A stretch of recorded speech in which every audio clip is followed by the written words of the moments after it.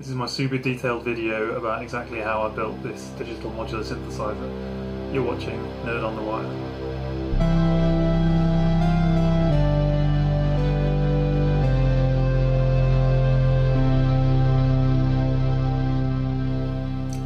So this is my homemade digital modular synthesizer. Uh, I've made another video here which you should probably watch first uh, where I go through how the synthesizer is used. Um, but in this video I'm really going to get into the details so be warned if you don't want to hear sentences like uh, the Arduino Mega 2560 communicates with a node server via the COM4 virtual serial port uh, then this probably isn't the video for you. So to give a quick overview of how the synth works before getting into the details. The physical controls on the front here are connected to an Arduino uh, which sends data to a computer. Uh, the computer is running a web server which listens for the data and passes it to a web page which generates the audio. Uh, I'll get a few caveats out of the way to start with. Um, it's like an early prototype, it's kind of a proof of concept project, so it's a bit ugly code isn't super optimized, the wiring is hilarious, and the whole thing is just kind of fragile. Um, but none of those are fundamental problems with the concept, they're just kind of weaknesses of this iteration of the design.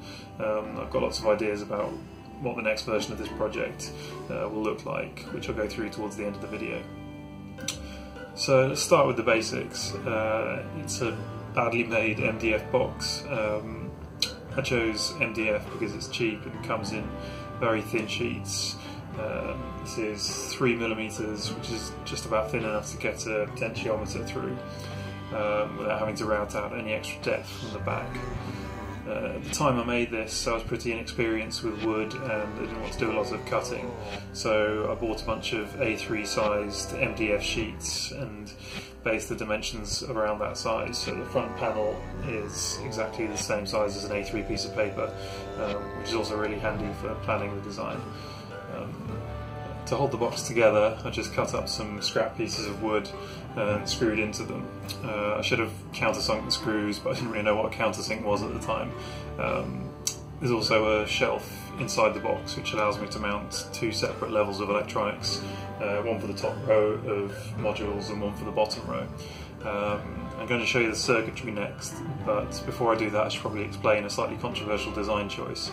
Um, what I probably should have done, and what I was told by lots of very knowledgeable people at Maker Faire that I should have done, is worked out the basic idea using a breadboard like this. Um, checked that the concept worked, and then made a proper circuit using strip board like this, uh, with everything soldered together. Um, the thing is, I thought this whole project was pretty unlikely to work, and I didn't want to spend ages soldering something that wasn't going to work.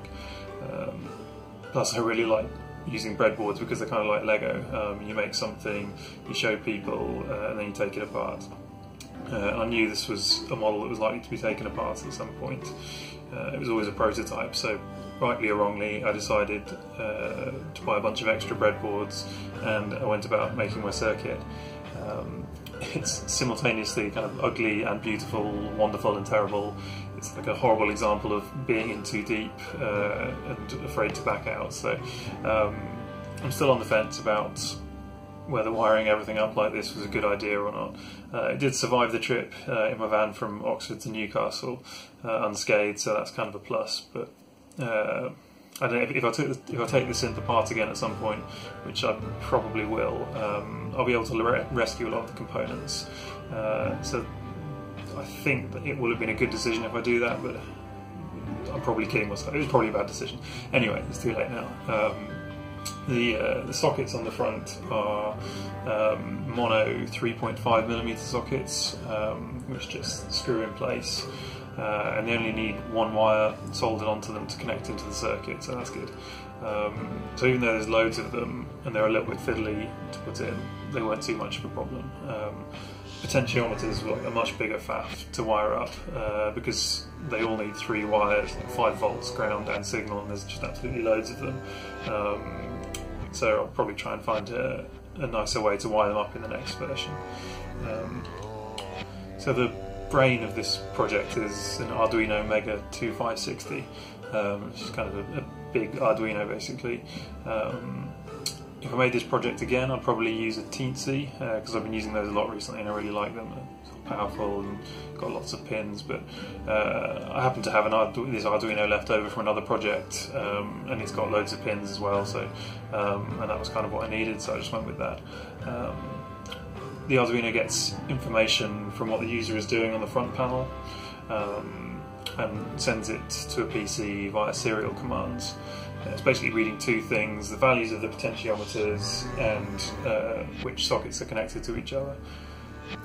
Reading from the potentiometers would have been fairly easy if I'd stuck to 16 of them, um, but I didn't want to be limited by the number of analog inputs on the Arduino. Um, I've got a lot more than 16 here. Um, so I used a bunch of these chips, uh, the 4051 multiplexer. Uh, so each of these chips takes eight analog inputs uh, and lets you select which one you want to read. Uh, I ended up using five of these, which meant I could use up to 40 potentiometers. I think I ended up with about 33 in total. Um, so hundreds of times a second, uh, the Arduino switches all of these chips to channel one uh, and reads five different potentiometers, one for each chip. Uh, then it switches to channel two and reads the next five values and so on. Um, you can switch these chips really fast, uh, so it basically gives you unlimited analog inputs, which is really cool for something like this where you've got loads of analog inputs. Um, the other thing the system needs to know is which sockets are connected to which other sockets. Um, this is a really interesting challenge. And I could quite happily make a whole other video about just this aspect of the project, and uh, I may do at some point. Um, but I'm going to show some restraint because even for an in-depth video like this, it's a bit much. Basically, by using multiplexers again, uh, the same chips as before, each socket can either be set to an output or an input. Uh, you set the first socket to 5 volts, then all the other sockets are set to be inputs. Any of the input sockets that are reading 5 volts must then be connected to the first socket. Then the second socket is set to 5 volts and all the other sockets set to be inputs and so on. Um, so you basically try every possible combination uh, and, and, continue doing that until you've checked every possible connection. Um, so once we've got this information from the front panel, the Arduino sends it as a serial message via USB. Uh, and that's pretty much everything the box does at that point. Um, the computer now has to listen for the messages and make some sounds. So there's a lot there's a lot of different ways I could have done the sound generation, uh, but I ended up choosing the one that I already had the most experience with, uh, which was essentially to make a web page which would act as a synthesizer. Uh, I happen to have quite a bit of experience with the web audio API in JavaScript, so I decided to use that.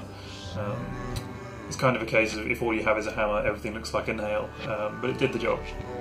Um, so the web audio API is this really cool section of JavaScript uh, that can perform all the basic functions of a synthesizer, like uh, it has oscillators, sample players, filters, reverb, delay, etc., all of that stuff, and just kind of works like a modular synth, um, the way you can connect the different elements together. Um, so I decided to write a set of JavaScript modules that would work like synthesizer modules. Uh, I'd define what the inputs and outputs would be for each module um, and what controls it would have. Uh, I made most of the basic modules you'd find in any synthesizer, so oscillator, uh, envelope generator, filter, etc. Uh, you could theoretically make some like really crazy modules pretty easily, like uh, YouTube video player or speech synthesis module. Um, I'd love to do that in the next version, but I was just trying to focus on the basics for this design. So I had a working control box and a working software synthesizer, but I needed a way of getting the information from the Arduino into the web page uh, that was running the synth. The way I did that was to write a basic web server in Node uh, and install a Node module called Serial Port, which listens for the serial data. Um, I then installed a WebSocket module uh, in Node called WS, which allows high-speed communication between the server and the page. Um, so with that done, everything was kind of in place. Um, chose the layout for the front panel, uh, drilled the holes and wired everything up. Um, had to tell the software which socket numbers referred to which inputs and outputs, and which potentiometers are supposed to control which parameters, and then I was done.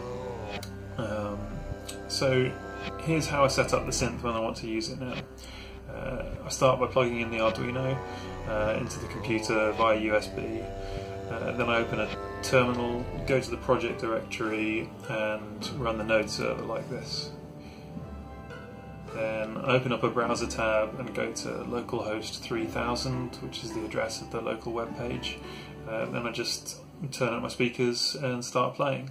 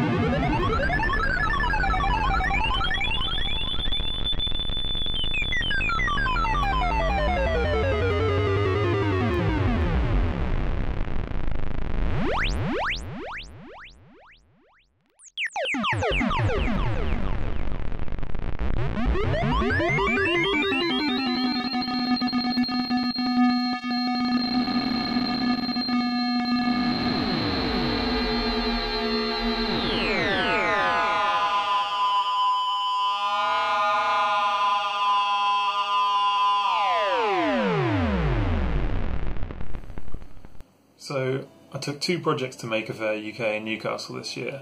Um, this synth and my retro-looking synth guitar.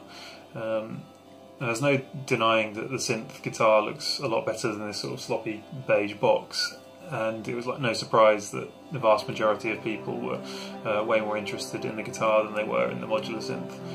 But what I found really cool was that there were about sort of two or three people over the course of the weekend who found the modular synth like really cool. Um, and that's kind of what I was expecting. It's like a really niche project, especially in its sort of unpolished prototype form. But for certain people, it was really exciting, and they could sort of see the potential. And that's what made me want to push this project onto a second version. There's like so many things I could improve that I don't quite know where to start. The most obvious thing is to get rid of the horrible breadboard wiring and design a proper circuit board. Um, the next thing, if I can figure out an elegant way of doing it, would be to make each module removable, um, like a real synth module. I think if it would make the whole, yeah, if I could do that, it would make the whole project kind of less daunting um, as a build because you could, you could build things more gradually, just build one module at a time. Rather than you know the, the wiring behind here is just absolutely horrible, and you have to kind of do it all at all at once. And you know, when you, when you remove one thing, you end up moving something else. Know, so a, a properly modular modular design would be really cool. Um, and I also think it would add a really fun element of modular synths, which is kind of missing from this design at the moment, which is being able to chop and change the layout and easily add or replace modules. You know, at the moment, I've got my two oscillators, I'm sort of stuck with that. That's you know, put another one over here or whatever. But you know, I've already fixed the layout in this corner, etc. So it'd be really cool to be able to change the layout over time. Um, the other thing I'd definitely like to do is add uh, a working MIDI input. I did add a MIDI port, um, which you can see here, but I didn't bother wiring it up because the software's latency just didn't make live input viable. Um, I added a sort of fake MIDI input using the computer's keyboard, but it's not that great.